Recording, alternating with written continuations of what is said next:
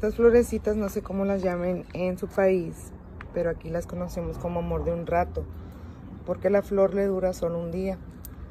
Sale en la mañana, se abren estos botoncitos en la mañana y ya para la tarde noche se empiezan a secar.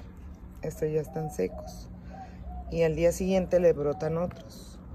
Entonces me preguntaron que si dónde sale la semilla y pues ahí les voy a explicar. Cuando se les quita la hojita, a ver esta. Se les quita la pura hojita y queda este tambito, mira. Ese, ese, ese, ese.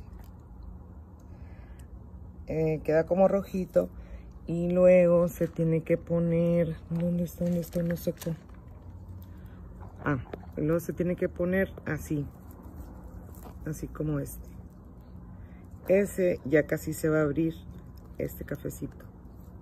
Mira todos esos son ay, todos estos son puros que van a dar semillita.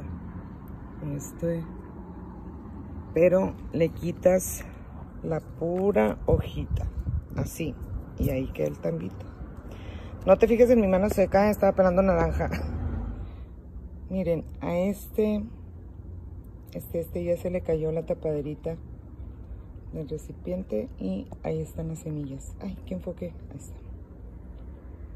Ahí están las semillitas de esta flor que se llama amor de un rato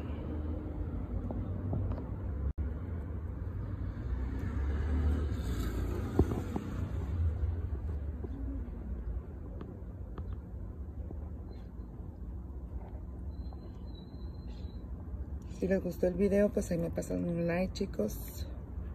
Y espero que les haya servido. Que les haya gustado. Y que obtengan muchas semillitas de su plantita de amor de un rato. Nos vemos.